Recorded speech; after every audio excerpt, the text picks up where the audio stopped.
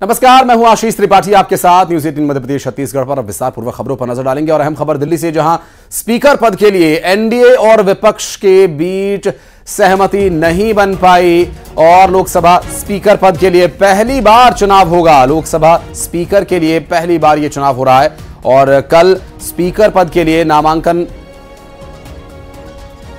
कल सुबह 11 बजे दरअसल चुनाव होना है। आज नामांकन हो चुका है। विपक्ष ने स्पीकर के लिए अपना उम्मीदवार के सुरेश को बनाया है और स्पीकर के लिए नामांकन भरा गया है के सुरेश के द्वारा। एनडीए से स्पीकर पद के उम्मीदवार हैं ओम बिरला, जो कि पिछली सरकार में, यानी सत्रहवीं लोकसभा के कार्यकाल के दौरान विधानसभा माफ़ कीजिएगा, लोकसभा के अध्यक्ष के तौर पर ज़िम्मेदारी संभाल चुके हैं और इस बार फिर से प्रधानमंत्री नरेंद्र मोदी से बातचीत करने के बाद एक मीटिंग हुई और मीटिंग के बाद ये तय हुआ कि ओम बिरला को एक बार फिर से यहाँ स्पीकर पद के लिए नॉमिनेशन करना होगा और नॉमिनेशन कर दिया गया है ओम बिरला के द्वारा, जो कि एनडीए के उम्मीदवार हैं, जबकि विपक्ष की तरफ़ से के सुरेश को स्पीकर के लिए नामांकन करवाया गया है। आपको बता दें कि इससे पहले राहुल गांधी जब मीडिया के सामने आए थे तो उन्होंने कहा कि डिप्टी स्पीकर हमारा होगा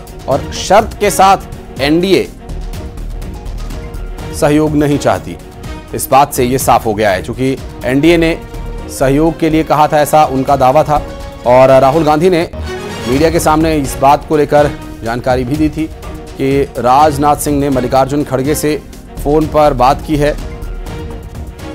लोकसभा स्पीकर ओम बिरला को बनाए जाने के लिए समर्थन मांगा है, लेकिन उस समर्थन के बदले एक और समर्थन विपक्ष ने मांगा था कि डिप्टी स्पीकर विपक्ष का होगा। और किसी भी शर्त के साथ कोई समर्थन सरकार नहीं चाहती।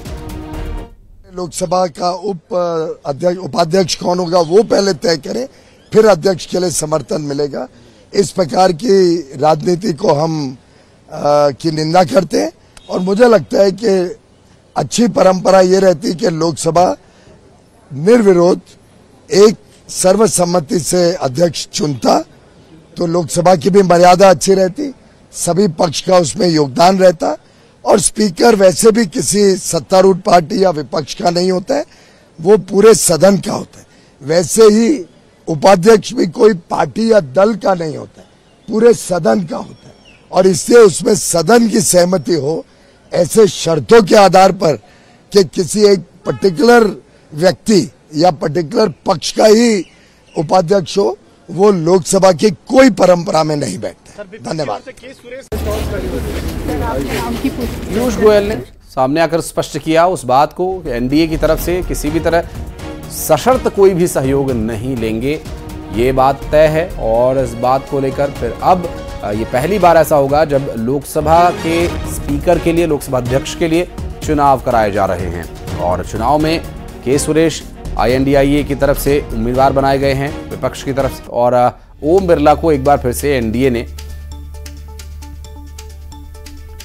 लोकसभा अध्यक्ष के लिए आगे किया है और नॉमिनेशन दोनों ही उम्मीदवारों की तरफ़ से कर दिए गए हैं। और लोकसभा के सदन की जो परंपरा रही है और उस परंपरा के अनुसार अगर देखा जाए तो स्पीकर का जो पद होता है, स्पीकर पद पर बैठने वाले व्यक्ति का सभी के लिए स्वीकार्यता उसकी हो तो ये एक आदर्श स्थिति होती है। हालाँकि चुनाव का प्रावधान ज़रूर है और अब चुनाव होगा। तो नॉमिनेशन कर दिए गए हैं के सुरेश और ओम बिरला, जो कि अब लोकसभा अध्यक्ष के लिए नॉमिनेशन कर चुके हैं और अब देखना होगा कि चुनाव के दौरान किसे चुना जाता है। ओम बिरला, जो कि एनडीए की तरफ़ से लोकसभा अध्यक्ष के लिए उम्मीदवार बनाए गए हैं और आईएनडीआईए की तरफ़ से के सुरेश को उम्मीदवार बनाया गया है। स्पीकर पद के लिए पहली बार चुनाव हो रहा है और ऐसे में देखना यह होगा कि कौन चुनकर इस महत्वपूर्ण ज़िम्मेदारी का निर्वहन करने के लिए आगे आता शिवम प्रताप से बात करेंगे। हमारे सहयोगी दिल्ली से इस वक्त मौजूद हैं। शिवम लोकसभा के स्पीकर का एक ऐसा पद है जिसमें कोई भी व्यक्ति अगर जाता है तो सबकी सहमति इस पर होती है एक आदर्श स्थिति रहती है। लेकिन अब तो यहाँ पर चुनाव की तैयारी है। क्या कुछ डिटेल्स मिल पा रहे हैं? की तैयारी है। क्या कुछ डिटेल्स मिल पा रहे हैं? देखिए बिल्कुल के इतिहास में पहली बार ऐसा होगा जब लोकसभा का स्पीकर सर्वसम्मत से नहीं चुना जाएगा। खास बात यह है कि न्यूज़ 18 ने अपने दर्शकों को तीन दिन पहले ही जानकारी दे दी थी कि इस बार विपक्ष अपना स्पीकर पद पर उम्मीदवार उतारने जा रहा है। इसके पीछे विपक्ष का तर्क ये था कि आमतौर पर लोकसभा का स्पीकर सत्ता पक्ष का होता है डिप्टी स्पीकर का जो पद होता है वो विपक्ष का होता है। अच्छा संख्या बल होने के बावजूद एनडीए गवर्नमेंट डिप्टी स्पीकर का पद हमें देने को तैयार नहीं है, इसलिए हम विचार कर रहे हैं। और ये विवाद दरअसल पूरा शुरू प्रोटम स्पीकर से हुआ था। प्रोटम स्पीकर जब बी मेहताब को बनाया गया, उस वक्त ऑपोजिशन ने ये कहा कि के सुरेश, जिन्हें अभी स्पीकर का उम्मीदवार बनाया गया है, वो सबसे सीनियर मेंबर हैं, आठ बार के सांसद हैं, उनका इस पद पर हक है। लेकिन एनडीए ने बी मेहताब को बनाया था और वहीं से ये विवाद शुरू हुआ, कांग्रेस ने इसका जमकर विरोध किया। के सुरेश, कांग्रेस के आठ बार के सांसद हैं, केरल से वो आते हैं उन्हें ऑपोजिशन ने अपना स्पीकर का उम्मीदवार बनाया। हालाँकि संख्या बल ऑपोजिशन के पास भले ही कम हो, लेकिन कांग्रेस के सूत्र दावा कर रहे हैं कि कांग्रेस पार्टी के अलावा भी बाकी जो इंडिया अलायंस के दल हैं, वो अन्य दलों से बात करेंगे और समर्थन मांगेंगे। आज नामांकन का अंतिम दिन था। एनडीए ने ओम बिरला को फिर से उतारा है। इंडिया ने के सुरेश को अपना उम्मीदवार बनाया है। वो दलित कम्युनिटी से आते हैं और बार बार कांग्रेस पार्टी ये कहती रही कि प्रोटेम स्पीकर का पद के सुरेश को इसलिए नहीं दिया गया क्योंकि वो दलित कम्युनिटी के हैं। बीजेपी दलित विरोधी है और यही पर तुरुप का इक्का कांग्रेस पार्टी ने एक बार फिर चला यानी कि के सुरेश को स्पीकर का उम्मीदवार बनाया है। कल 11 बजे से वोटिंग होगी और कल ये तय हो जाएगा कि स्पीकर कौन बनने वाला है। बड़ी बात यह है कि स्पीकर का पद आमतौर पर सभी दलों का होता है माना जाता है कि स्पीकर किसी दल का नहीं है। लेकिन इतिहास की परंपरा अब टूटेगी पहली बार स्पीकर पद को लेकर चुनाव होने जा रहा है। के सुरेश ने तमाम कांग्रेस सांसदों की मौजूदगी में आज नामांकन कर दिया है और मिलन भार्गव जी हमारे साथ भारतीय जनता पार्टी से जुड़ गए हैं। मिलन जी इस तरह की परंपरा लोकसभा में होती नहीं है कि आप हमें अगर सहयोग दें तो सर, शर्त के तहत हम आपका सहयोग भी चाहते हैं कि आप डिप्टी स्पीकर हमारा बनाएँ फिर हम आपके स्पीकर को समर्थन देंगे। पहले डिप्टी स्पीकर पर बात होगी। ये ये शर्त रख करके प्रोटेम स्पीकर वाले विवाद को आगे बढ़ाया क्या विपक्ष ने?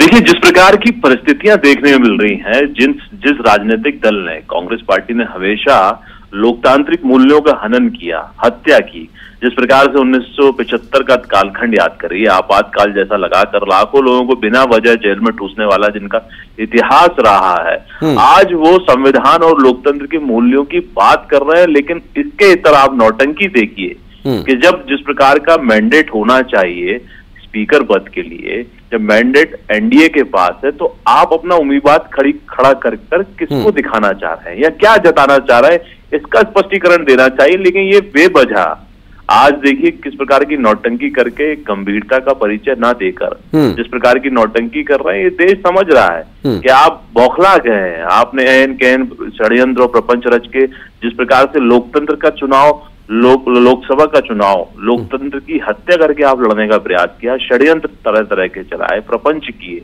हम्म। लेकिन आप आज सत्ता में नहीं है तो अब आप क्या कर रहे हैं? तो ये देश देख रहा समझ रहा है। मुझे लगता है इसका जवाब भी आने वाले समय में बहुत स्पष्टता के साथ मिलेगा। भूपेन्द्र गुप्ता जी हमारे साथ कांग्रेस पार्टी से हैं उनसे भी बात करेंगे। भूपेन्द्र जी विपक्ष पिछली सरकार के मुकाबले इस बार पिछले सत्रहवीं लोकसभा के मुकाबले इस बार अधिक मज़बूत है।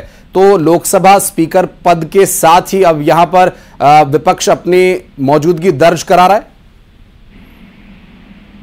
विपक्ष क्या मौजूदगी में समझा नहीं आप क्या सवाल पूछना चाह सवाल सर ये कि विपक्ष मज़बूत हुआ है तो सरकार को अब हर मोर्चे पर विपक्ष का सामना करना पड़ेगा विपक्ष उसे चुनौती पेश करेगा। ये लोकसभा स्पीकर पद के साथ ही शुरुआत हो गई क्या?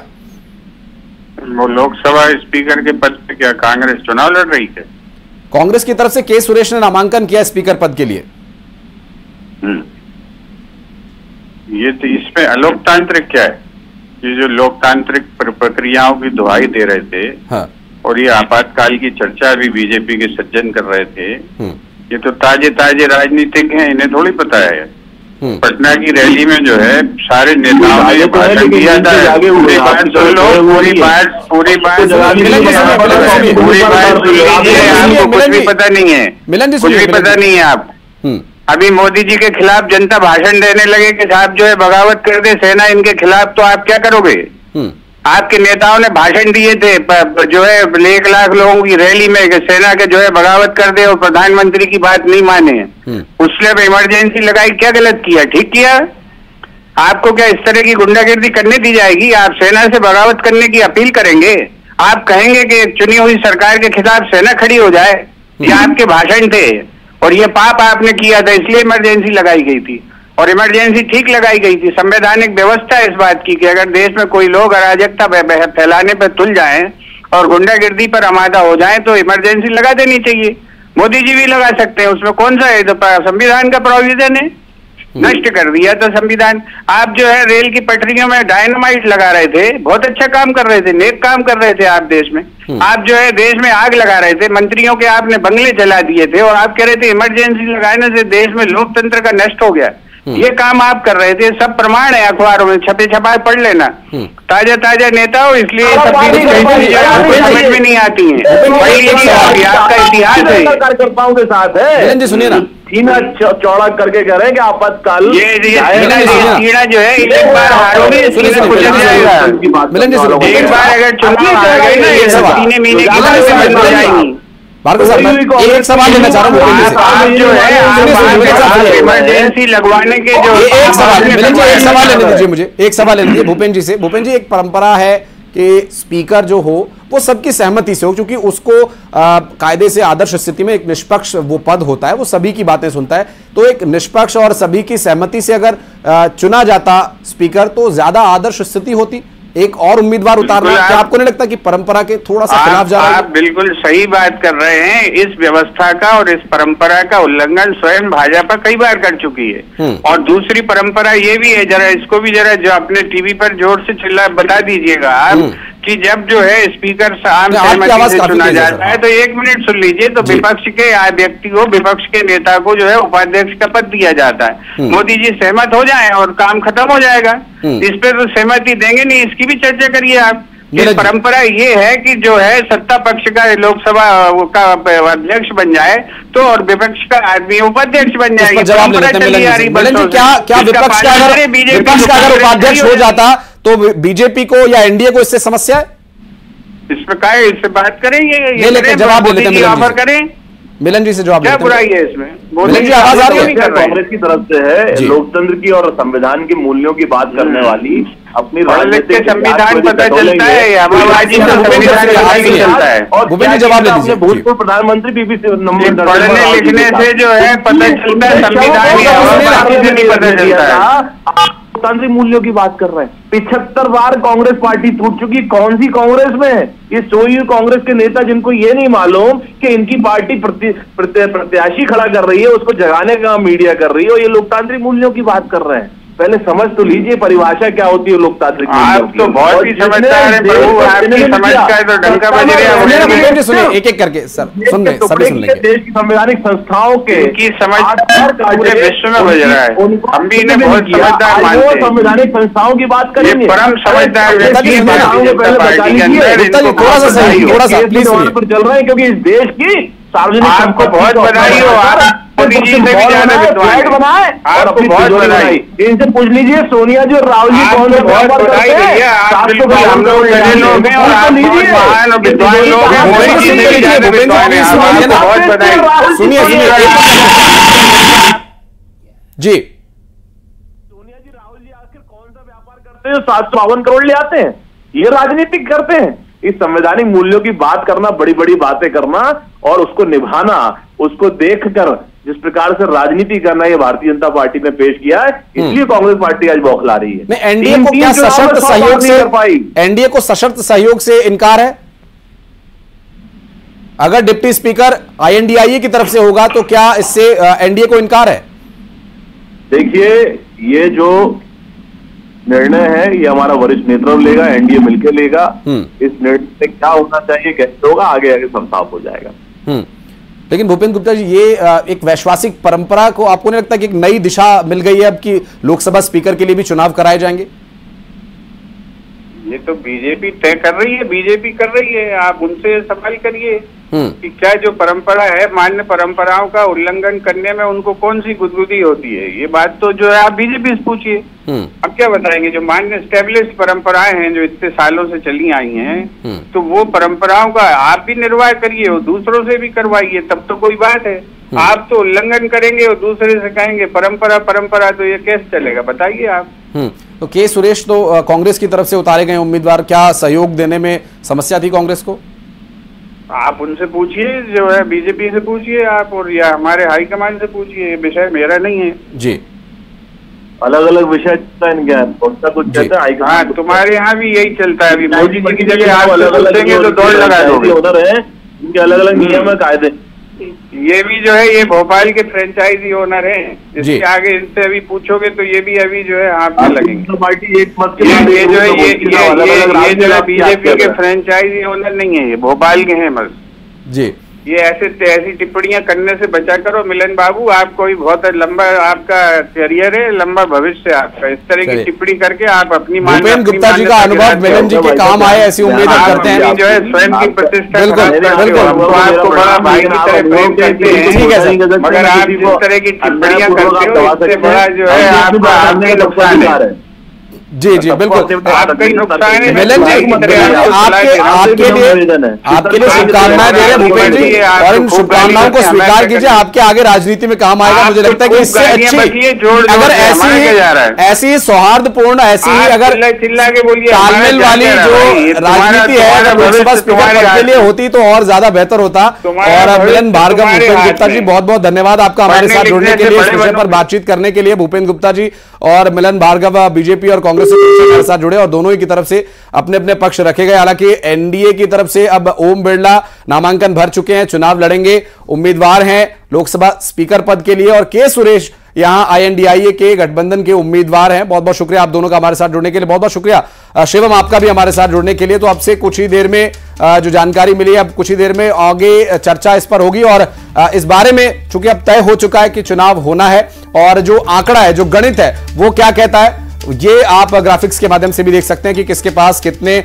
सदस्य हैं और उसी के अनुसार चुनाव का भी परिणाम सामने आ जाएगा लोकसभा स्पीकर की इस महत्वपूर्ण ज़िम्मेदारी का निर्वहन आखिर कौन करने वाला है, ये तय होगा कल जब चुनाव होंगे लोकसभा स्पीकर पद के लिए।